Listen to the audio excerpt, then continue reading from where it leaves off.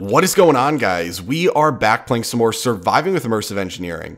And today, guys, we're going to be setting up both the steam turbine and the alternator, which technically are going to be combining into one extremely large, extremely expensive multi-block structure that's going to allow us to finish off the steam power generation setup that we've been working on for about two or three episodes now. So if you haven't seen any of the previous episodes, I would recommend you go watch those just because you're going to need to know how to do all that stuff if you want to get to this step and actually set this up and make it useful. But a general overview is we start by pumping out some water, then we turn it into distilled water, then we turn that distilled water into steam, and that's where we are now. So we got to turn that steam into energy. And to do that, like I said, we are going to be setting up two things that are going to combine into one, which is the steam turbine, which is going to allow us to take that steam and turn it into kinetic energy. And then that kinetic energy needs to be turned into electrical energy through the use of the alternator. So you're basically going to squish these two things together since they are considered separate, but they're going to interact as one. And it's going to end up being an extremely expensive 14 block long multi block structure that looks pretty darn cool and is going to generate us some nice power. Now, something that I like to compare it to is going to be one of the first things you touch in immersive engineering, which is the water wheel. Now it's basically the same as this considering the water wheel generates kinetic energy. It's spinning, it's generating rotational kinetic energy much like the turbine will be doing. Instead of using steam though for this, it's using water. So relatively similar. Um, and then the alternator in this case, it's going to be compared to, I believe this is the kinetic dynamo here.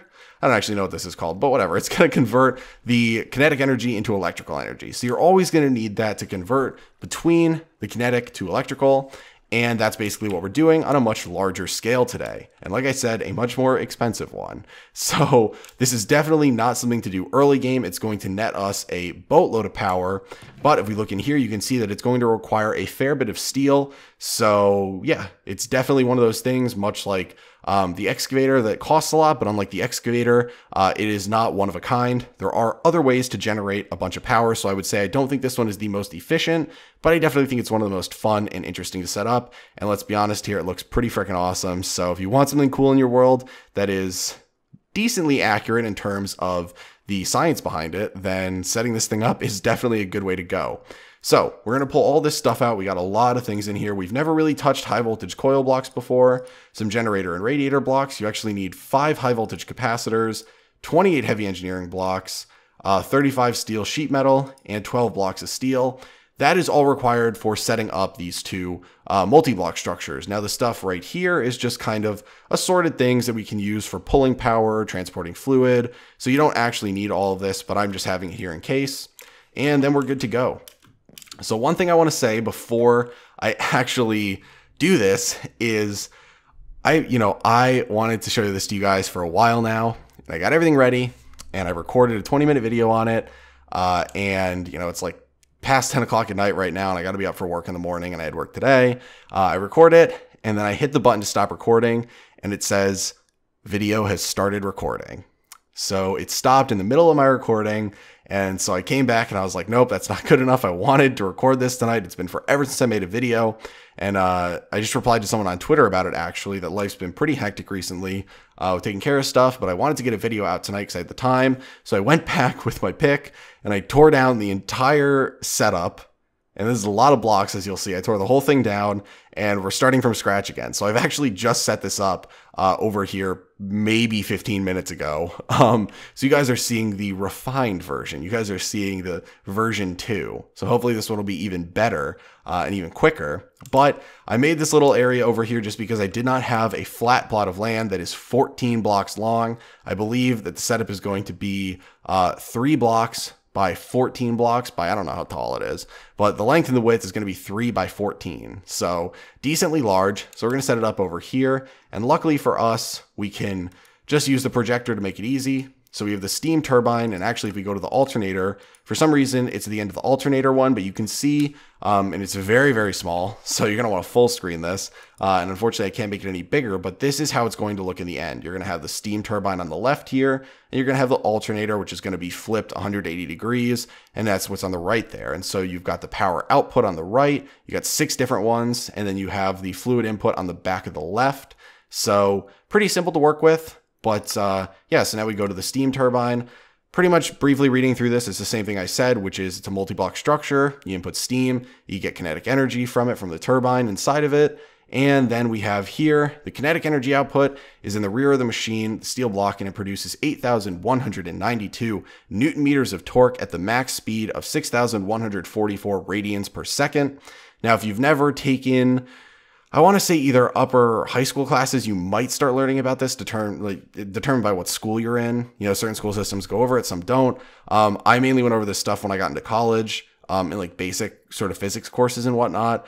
Um, but this is the sort of stuff you're going to be learning about in the the units you'll be using when you start talking about rotational kinetic energy and things like that. So, you know, things like radians per second, I think you learn, but I don't know if you start working with torque or anything uh, until then, but we actually worked a lot with this if you saw the Rotary Craft series.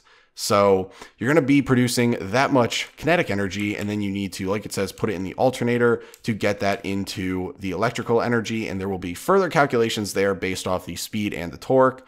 Um, so really, all you need to know is chances are with this setup during the day, you'll be running it at max speed the entire time. Does so you don't need to do any complicated math or anything. But if you want to learn a little bit about it, uh, it makes sense scientifically. So you can actually look through it. It's definitely interesting. And it is definitely a throwback to rotary craft, which was a long, long time ago. So we can start setting this up. I think the projector is set to the alternator right now from when I was setting stuff up before. But here's the steam turbine. We'll pull this out and uh, so we want to make sure it's oriented right. It is in fact, and we can see that because if we kind of inch our way over, the redstone engineering block is what we want to be on the end there. That means the fluid input is going to be on the back left of the machine uh, from our screen. So we're going to come over one more and place it down right here. So pretty much perfect.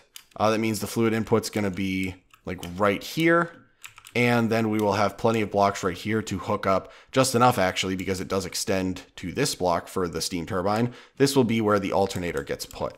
So we can start throwing this bad boy together. So I'm just going to speed through this, throwing down all these heavy engineering blocks. Uh, and I do need to start throwing some of these that we are going to be using into my actual hotbar. So we'll get rid of those really quick. And then we just have a lot of sheet metal in these middle areas here to fill them out. So we'll be doing that again. More sheet metal.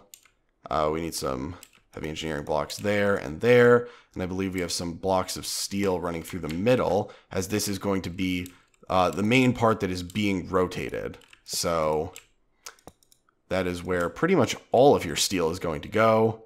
Then we have do we have any more? Yes, we got some more heavy engineering blocks, and now we can pull out the fluid pipes and we can replace the capacitors because we don't need those with the redstone engineering block.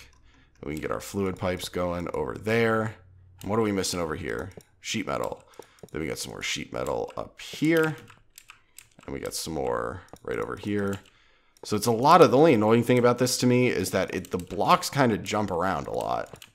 Uh, it's not just stacking the same block on top of itself repeatedly, like some of these machines are. So we're nearing the top though, so now we got all these radiator blocks, and I believe that should be it. So we'll grab out our hammer, and we will assemble it by clicking on the central steel block over here. So there we go, and we should be able to jump up, if I can time it right, over here. There we go. And there we go. So you can see it extends right here. We can get the projector to get that out of here and looks pretty awesome. So then we're going to back up the alternator, which is going to have to be rotated from what it's going to initially show as right over here. So we go to the alternator, again, says the same exact thing that I was saying, which is you are going to back it up to the steam turbine to get your kinetic energy, and then it's going to turn it into uh, the electrical energy. And so um, it's going to be input at the back of the machine where the sheet metal blocks are, and the machine produces speed times torque divided by 800 flux per tick, can store 1.2 million flux, and can output the high voltage power at 4096 flux per tick, which is the exact amount we can transport it at if we're only pulling with one thing. It can do that per energy device connected, and you can have up to six. So you can output a lot faster if you'd like. I don't really see a huge point, um, but if you're powering a ton of stuff, totally okay. So we're gonna pull out and set up the projector for this. And then, like I said, we're going to have to rotate it because we want it to be like this. So we're going to want to have these uh, generator blocks on this side towards the steam turbine.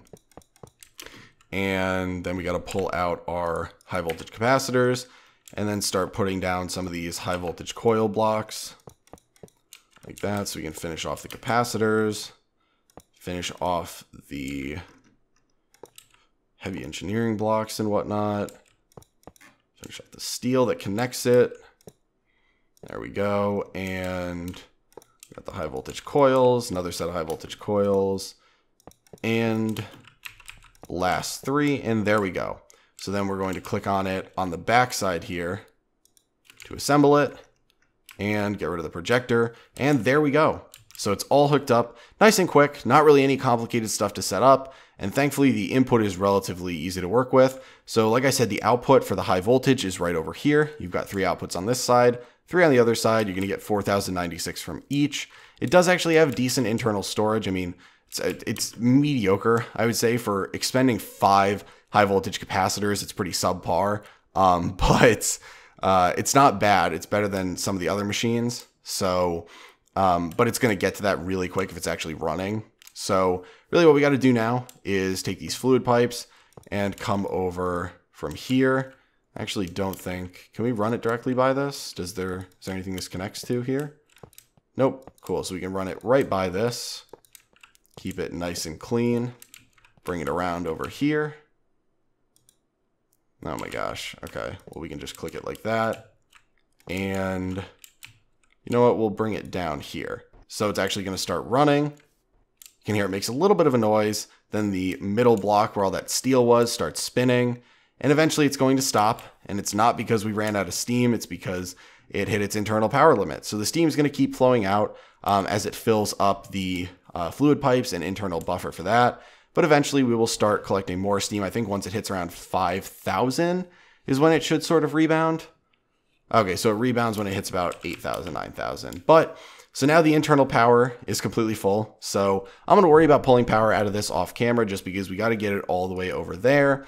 And I really, I keep saying this, I want to try and make the power sort of wiring setup look a little bit better. I know it's kind of a pipe dream considering I'm super lazy about it and I don't really know if there's a good way to make it look better in all honesty with how far we are along with all this, but I'll do that off camera. Uh, and you can see there's some annoying things where this sort of texture goes away when you know, it's a little bit off camera, the central block, so a little bit annoying, but it definitely looks cool. It's an awesome, massive multi-block structure that all functions together, and it generates you a fair bit of power. So I don't think it's the worst thing in the world to set up. It's definitely a cool thing to set up, but I would not say it's the most efficient thing in the entire world. So do so at your own risk. If you got a ton of steel to throw around, then absolutely I would recommend it. But uh, hopefully you guys enjoyed today's episode. I know it's been a bit since the last one.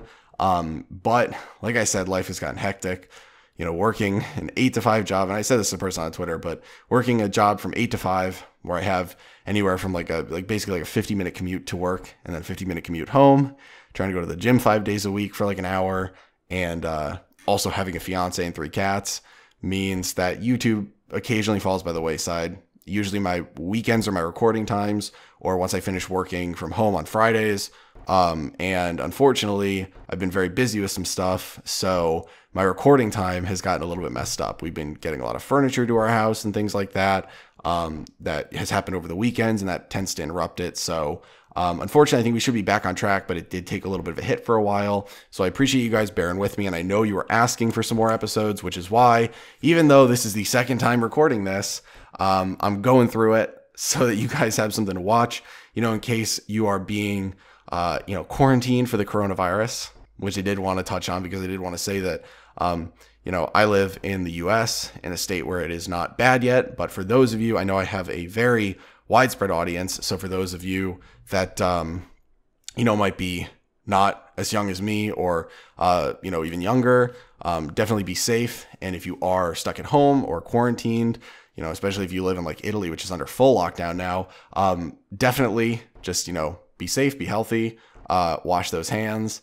And uh, yeah, I'm wishing you guys all the best. And hopefully, this will help entertain you for anywhere from 15 to 20 minutes of your day if you are stuck inside. So, um, but yeah, guys, thanks for watching the video. I hope you have a nice week. and I will talk to you later.